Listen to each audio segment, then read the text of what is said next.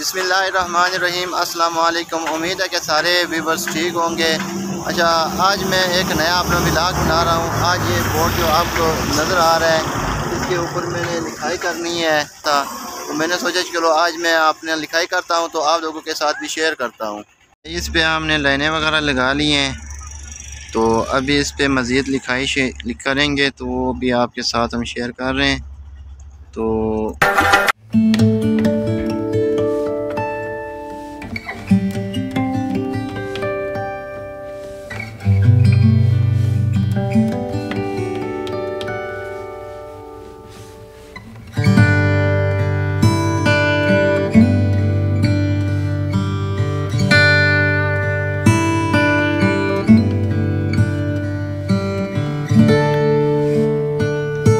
Thank you.